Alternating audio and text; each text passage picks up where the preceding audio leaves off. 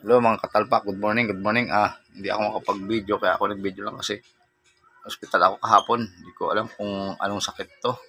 Kasi masakit ang aking baywang. Baywang mula dito papunta rito sa ating ano, ating ah ilalim sa may ari. Hindi ko alam kung anong sakit to. Hindi ako, namimilipit ako sa sakit mga katalpak kaya hindi ako makapag-vlogs ngayon. Ah, ito lang siguro ang tangi kong katulong at ah, panalangin sa Diyos para ako maka-survive. Hindi, may walang lumabas na finding sa akin. Pero ano, sobrang sakit. Ngayon mamahinga ako. Mamahinga ngayon ako dito sa aking ano, sa kwarto sa bahay. Hindi ako nagpa-confine kasi sobrang sakit ng ano ko. Ito yung upuan ko. Ito lang ang tanging inaano ko, ang Papa Jesus. Ayan, at saka to. Ayan, yan. Sila lang ang tanging katulong ko siguro. Tananalangin ako ng gusto hindi ako makapasok mga katalpak. Hindi tayo makakuha ng mga motibo sa construction at saka dito. Dito lang ako nanalangin sa kanila. At ito at uh, baba ako at medyo masakit pa ang baywang ko. Ito marami kong turok. At ah, ito bababa ako dito sa baba at ah, may nagluluto raw ng sambong, sinigang na sambong.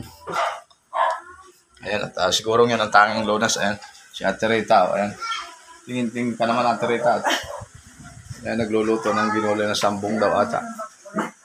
Tapos sa pang-ulam, wala. Pahinga-pahinga muna ang inyong katalpak. Sa medyo wala, talagang hindi makapasok ako. So marami ko pang turok, daming turok. Alam naman niyo mga katalpak, takot ako sa karayom eh. At ah, ito, nandito ako sa bahay at uh, talika, talika, kalaro ko yung aking mga alaga. Ayan o. Ayan, talika, talika Charlie at saka si Spammy, Spammy. Halika, halika. Ayan si Lixie. Ayan. So, papahinga-pahinga lang muna ako ngayon mga katalpak. Pagka hindi kaya ng katawan at ah, dahan-dahan, dahan-dahan ang aking ano ngayon. Sige at ah, maraming salamat sa inyo sa paki panood na lang ang YouTube channel ko at ah, salamat sa inyo. Ayan si Ate Rita oh. Nagluluto pa ng ulam at ah, yun daw ang tanging panlunas yung sambong na ano na nilaga.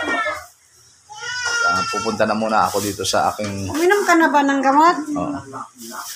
Pupunta na muna ako dito sa aking ah, kwarto mga katalpak. At, ah, ang hirap talaga ng pagka may sakit.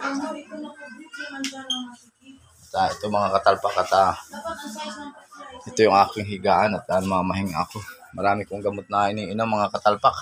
Medyo talagang pahinga muna ako sa pag ah, adventure sa construction, sa pag-vlog at sigurong ah, ito yung tanging paraan muna at ah, sobrang sakit ng baywang ko hanggang papunta rito sa baba sa ating ari. Hindi ko alam mga katalpak kung anong nangyayari sa akin. Kaya ito mga katalpak, babay na sa inyo lahat at panood sana itong vlog na ito at maraming salamat. Bye-bye.